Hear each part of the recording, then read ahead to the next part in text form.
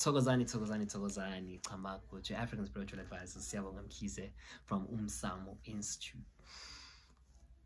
I want to talk about perspective and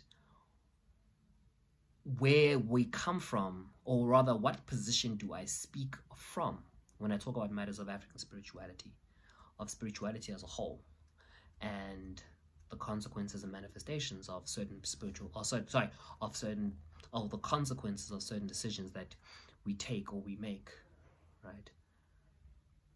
Dr. Mkhize, well, let me say that Umsamo Institute really started in about 2004, 2005 formally being registered later, around 2007. Okay. And since 2004, 2005, Dr. Mkhize has been practicing, right? And I have been observing and recording and understanding and learning.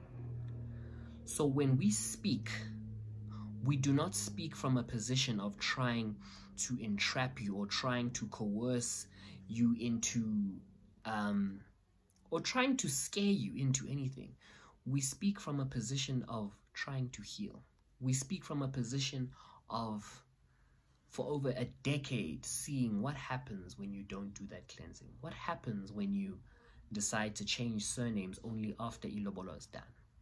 I'm going to use that as an example. A lot of people are like, no, but Sibong, Ilobolo is marriage. And I say, no, it's not. They say, no, but according to my culture, according to my understanding, according to my, and I'm like, okay, I understand that. But you must understand, you are speaking from a man's position. A, uh, you are speaking from the position of a man wanting their child to have their surname. It is not, it is your pride that is speaking. I am not speaking from a position of pride. I am speaking from a position of having to having to advise every single day mothers and fathers that are dealing with that have children that are struggling academically, that have children that are falling ill, that have children that are going through a variety or different forms of manifestations of the simple surname issue because a certain man was speaking from a position of pride. I don't speak from a position of pride.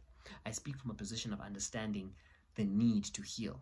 When I say to you that ilobola is not is not umshato and therefore not grounds to change surnames, it's not because I'm trying to make things difficult for you as a man, for your offspring to have your surname. It is because I understand fully what happens when you don't do it that other way. And you must also understand that when I speak to you, I speak to you from a position of hoping you never have to have to use our healing services. I speak to you from a position of saying, I hope I, I, I, I am working so that your son or your daughter never has to deal with whomever takes over from my father one day. That's the position that we work from. That's the position that we speak. So when I speak to my fellow young people and I say, Ilobola is not marriage, it's not try and make your life difficult. It's because I, I speak from a position of day after day, month after month, um, year after year, since 2007, 2006, watching what happens when those decisions are, are taken. That is the position that we speak from. So before you jump into the comments and jump into the mentions and the DMs and whatnot and say, no, Siyabonga, you're wrong, or Siyabonga, I disagree with you, which we happily welcome and we can have great, healthy discourse and we're always open to learning. I will always ask myself before we engage, what position are you speaking from? And what is the intention of what you are saying?